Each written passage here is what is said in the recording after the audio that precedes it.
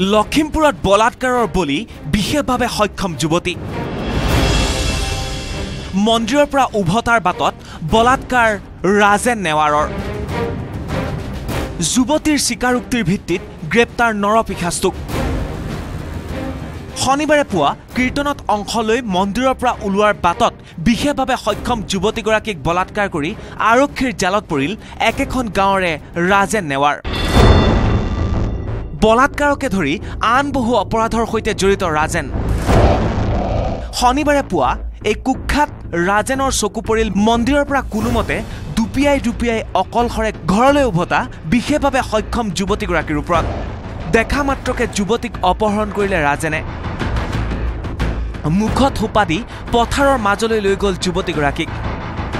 বলাৎকাৰ কৰি পথাৰৰ মাজত এৰি থৈ পলায়ন কৰিলে নৰপিশাচ ৰাজেন নেৱাৰে ৰাস্তাৰ পৰা ধৰি পিনে পথাৰ ফালে ল'লে তাৰ পৰা চিঞৰিছিলে তাৰ পৰা মুখ ধৰি দিলে। মানে আমাৰ বিকলাংগ ছোৱালীজনী আমাৰ হেৰিৰ গাঁৱৰ আমাৰ এনেকুৱা অৱস্থা ঠাইত কীৰ্তনলৈ গৈছিলে। তেখেতে মানে মুখ টেপি লৈ জংঘলত বাহানি তলত জোকে খানে খাই বহু সময় ধৰি ঘৰলৈ উভতি নহাত বিচাৰ খোচাৰ কৰি পৰিয়ালৰ লোকে পথাৰৰ মাজত পৰি থকা অৱস্থাত উদ্ধাৰ কৰে ভুক্তভোগী যুৱতীগৰাকীক। উদ্ধাৰৰ পিছতে ভালকৈ কথা ক'ব নোৱাৰা যুৱতীগৰাকীয়ে বহু কষ্টৰে বৰ্ণনা কৰিলে ৰাজেন নেৱাৰৰ দুষ্কাৰ্যৰ কথা।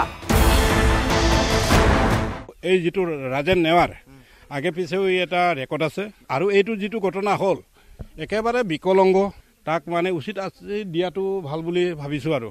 ই মানুহ হিচাপত মানুহ হিচাপত লেকত থাকিব নালাগে। এই কথা গম পোৱাৰ পিছতে পৰিয়ালৰ লোক কাষ চাপিল লখিমপুৰ আৰক্ষীৰ। এজাহাৰ দাখিল কৰাৰ পিছতে লখিমপুৰ সদৰ আৰক্ষীয়ে অভিযান চলাই গ্ৰেপ্তাৰ কৰে পলাতক ৰাজেন নেৱাৰক। কিন্তু গ্ৰেপ্তাৰৰ পিছতো কোনো অনুশোচনা নাই ৰাজেন নেৱাৰৰ মুখত। লম্পটটোৱে অকপতে স্বীকাৰো কৰিলে নিজৰ অপৰাধ।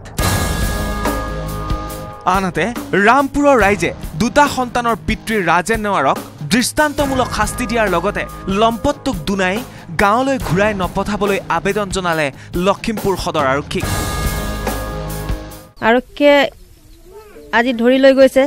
আমি বিচাৰিছোঁ ভৱিষ্যতে তেখেত আমাৰ গাঁৱলৈ উভতি নাহক। পাৰিলে ফাঁচীৰ অৰ্ডাৰ শুনিবলৈ পাওঁ আমি। বিশেষভাৱে সক্ষম যুৱতীক বলাৎকাৰ কৰা এই ঘটনাই জোকাৰি গৈছে লখিমপুৰ। কেমেৰা পাৰ্চন ৰকেট দেউৰীৰ সহযোগত লখিমপুৰৰ পৰা Sanjeev Lahon news eighteen Assam north east.